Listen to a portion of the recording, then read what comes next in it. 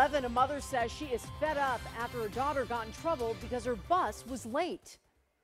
This year's been out of control. They've been showing up late nonstop.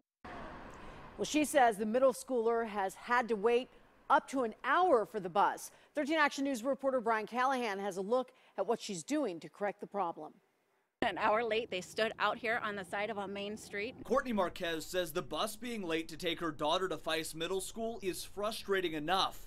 But the fact her daughter was in trouble for it made matters worse. They're not showing up. The kids are getting late to school. They're getting unexcused tardies. It's not their fault. Marquez says the bus on her daughter's route has been especially bad in the last week after school. I've gone to get her twice just in four days. CCSD says late buses are not an ongoing issue at Faiss Middle School, but acknowledged it does happen. Students are supposed to be given a slip excusing them for their tardies, but they say if there is a problem, parents should address it with the school. Marquez says she did that, but is worried the same thing could happen to other students. There's other kids on the bus. 60 kids shouldn't have to do that. 60 parents shouldn't have to go to the office and correct it because they can't get to school on time.